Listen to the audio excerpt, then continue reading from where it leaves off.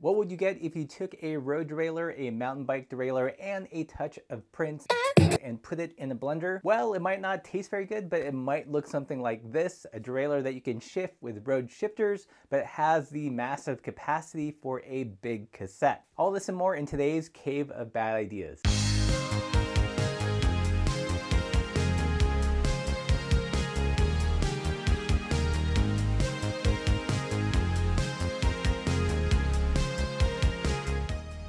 Welcome everybody to the Cave of Bad Ideas where we learn to do the right thing by sometimes doing the wrong thing and today is a massive episode. I'm really stoked to share with you guys this cassette and this derailleur hack. I think we are just about there in terms of finally having an awesome viable budget mullet solution. But before we check this out, I do want to do a little bit of myth busting. I've gotten quite a few comments from people saying that they can shift an NX Eagle rear derailleur uh, using the Rival 22 Brifter. On paper, this shouldn't work because as we know, the Road Brifter uses exact actuation and the NX Eagle rear derailleur uses X actuation. Totally not confusing whatsoever.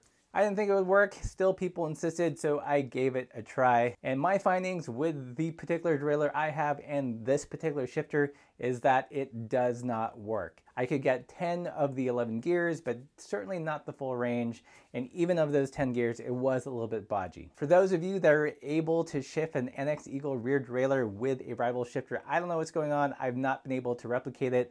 I've actually used two different NX Eagle rear derailleurs and still no luck. So either you're super lucky or you're not actually using these parts that you say that you're using. I'm gonna say myth busted Rival Brifter does not shift an NX Eagle rear derailleur, at least on any 11-speed cassette I've tested it with. Next on the agenda is actually some reader mail. Uh, I don't know if you guys caught my 80s parody video. I actually flashed a P.O. Box address where you could send your internet comments and only one person so far has uh, taken me up on it so I will read their postcard. It is from uh, Sal Ponce in the Washington area. He asked, do you ever sort out the B screw? Anyway, thank you for the channel. You're an inspiration and make me want to get out and ride a bit more. Well, thank you, Sal, for writing in. You are the first person to actually write and use your PO box address. So if you can contact us somehow via our email or Instagram or something, we will send you a sticker pack. Okay, moving on to not uh, PO Box comments. These are just the regular internet comments. I thought I would answer all these in the fell swoop just because they keep getting asked over and over and over again and I'm tired of replying to them in the comments. Uh, first big question that keeps coming up is why not a two by slash three by? And the answer is money. money. I'm on a budget. Also, it's quite a bit uncertain whether uh, the Bombora will take a 2 by, so that I didn't want a special order part, then be on the hook for that. So I wanted to go with something that was a known uh, factor with the bike, so it just went one by just to keep it simple. Next common comment is why not just use Shimano and Tanpan? And that is because I don't have Shimano or a Tanpan. For whatever reason, I am all in SRAM at the moment. Not a single uh, Shimano component here. So it's not because I don't like it or because I don't think it will work. It's just I don't have it. So there. A variation on that is why not use the Jtek ShiftMate. The ShiftMate, if you're not familiar, is very similar to the Tanpan. It uh, adjusts the cable pull ratio so you can use a uh, SRAM road shifter and have it communicate to a SRAM mountain bike uh, rear derailleur. And one reason I haven't tried that combo is because there's actually no US distributor of the Jtek ShiftMate, at least to my knowledge. Another kind of strange suggestion I keep getting is why not just use a mountain bike group set and use the Paul adapter to uh, mount the mountain bike shifter to the handlebars. And if you like that solution, you are free to do that. For me, uh, I would prefer the shifting to either be in the bar end or in the brifter. If anything, it would get in the way of the different bags I like to put on the bike. Another thing that people keep suggesting is the E13 9 to 46 uh, cassette. Yes, that would be an awesome solution, but one reason I don't want to go that route is I don't want to deal uh, with, with changing the free hub body to an XD free hub. I've got White Industries hub in the rear, so that's a hundred bucks for the free hub, then kind of messing around with it, installing it, and then I lose all like cross compatibility with the rest of my parts here. And to continue to experiment like we have been would be just a royal pain. So I'm resisting as much as I can to not go to an XD free hub. And the last reoccurring uh, comment is why not use the electronic shifting system by Archer? So if you're not familiar with the brand Archer, they, they actually make a pretty ingenious shifting system with uh, two shifter pods back here and this kind of servo motor that you attach to the rear chainstay and it works with any derailleur. And for me, the one reason I don't want to go that route is actually I don't really care too much for electronic shifting. There just seems like there's a lot that could go wrong. This mission is too important for me to allow you to jeopardize it. I'm a curmudgeon that way. I like cables. And lastly, guys, just because I try these particular setups doesn't mean I think they are the best in the world. They are simply what is available to me in the cave of bad ideas. I'm truly working with uh, what I have available, what I can get sent to me, and yeah, so that's why that's why these products. All right, let's get on with this cool stuff today. Uh, so you guys saw in the last video, we were able to get index shifting up here by the hoods with the Gevenalle shifter. Totally awesome and viable solution. And right when I had that figured out, this package came in from Garbaruk. Garbaruk is a formerly Ukrainian company which recently moved to Poland. They initially specialized with some motorcycle parts and have gone into bicycling and they produce a wide host of pretty interesting products. The two which caught my eye, which they sent over to me to review and try out for the channel, is their 11-speed wide-range cassette, as well as their SRAM rear derailleur long cage modification. First off, let's talk about the cassette. It is a thing of beauty. The first 10 cogs are CNC'd out of a single piece of aluminum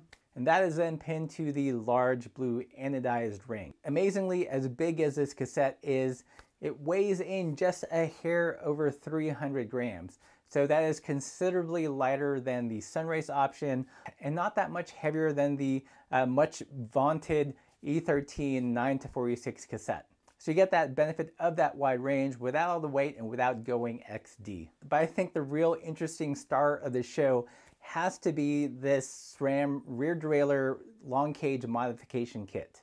When I was going back and forth with them, I asked them if they'd ever used that uh, rear derailleur kit on a rival rear derailleur, and they actually had not. So this was kind of a first, both both for me and for them, to see if it would work. I was a bit of a guinea pig, but uh, it worked out okay. So basically, how this worked was I took my SRAM uh, rear derailleur, removed the pulleys, removed the derailleur cage very carefully, uh, I made sure to mark the pulley so I knew which was the top and the bottom with a Sharpie and basically replace it with a Garbaruk uh, long cage and uh, pulley wheels. So I've heard whispers online of a hack like this where you can actually take, uh, if you have a spare Eagle rear derailleur, you can remove that long cage and put it onto a rival rear derailleur. I didn't want to buy a completely new and perfectly functioning uh, rear derailleur to, only to render it useless so I could do it with this mod. But you might have an Eagle rear derailleur that you're not using so you could definitely experiment that way. Garbaruk has uh, PDF instructions on how to do this on their website. It's fairly simple. You know, I was a little bit timid to try it just because, you know, I'm, you know, not the best mechanic clearly. And mostly I just try not to break things and this was this and this seemed like a good way to actually render my rear derailleur useless. But I moved slowly, methodically, carefully, being sure that, to mark parts and take notes and actually film it so if I did mess up I can rewind and see what I did wrong. And I was able to do the long cage uh, rear derailleur transplant in about 10 minutes. And yes, I did pick colors that were a little bit on the garish side because hey, why not? It would go well with the crust Bombora, but they do have more subdued colors if, you know, anodized purple and teal aren't your thing. But let's take a closer look at it. So the first thing you'll notice is that these jockey wheels are um, anodized aluminum, so metal, it, it kind of replaces the plastic uh, pulley wheels from the old derailleur. I know some people have suggested that these you know, sound really tinny. Uh, I've yet to experience that. I mean, granted, it is all fairly new. The thing people uh, wondered was, does the lockout still work uh, with this cage? And on my particular setup, yes, it does work. Well, how does it shift? Well, let's find out.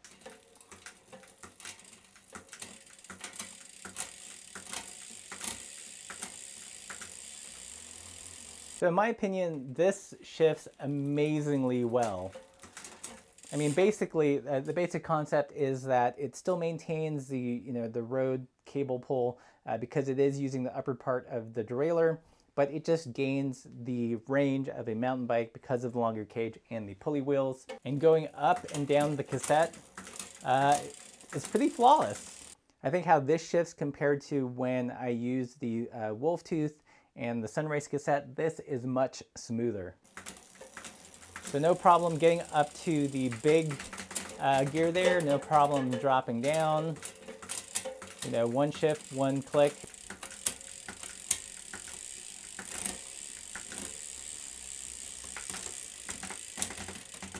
So in terms of the quality of the shifts, it's really nice and crisp and just precise, as if this was just a regular sized road cassette. So really transparent, nothing funky, doesn't grind, way smoother than the Sunrace cassette. I mean, this thing just works. Again, this is the backpedaling. I know some people like to do this.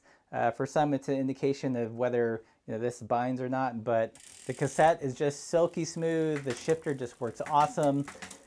This, I mean, this is like, a, this is a legit solution to the budget mullet. So what are the downsides? Uh, you know, for some, it could be a little bit spendy. The cassette is about $250. I mean, to my mind, this is the lightest 11 speed, you know, 11 to 50 cassette out there on the market. Really doesn't have any other competition. So if that's what you want to run and you want something lighter than the Sunrace, then this is what you got. The cage mod itself is, I believe, like 60 to $70. Uh, you can get it without the pulleys and just reuse plastic pulleys if you have it. Um, again, another option, if you already have an Eagle uh, rear derailleur at home, you can pop that cage off and then very gingerly attach it to the rival cage. I know many people have done this successfully. Uh, depending on what model of cage, you may or may not lose uh, the, the cage lock, so just be aware of that. But this system works awesome. And I know, and I know there's that person, I can already hear the comment, you know, shifting it on the stand is just fine. That's nice and academic. But what about in the real world under load? Again, guys, it's winter here in Montana, but I did brave the icy roads to take this uh, a couple miles, test the shifting, shift while standing, shift while going uphill, shift into the lowest gear, and it works awesome. 100% confidence in this system so far.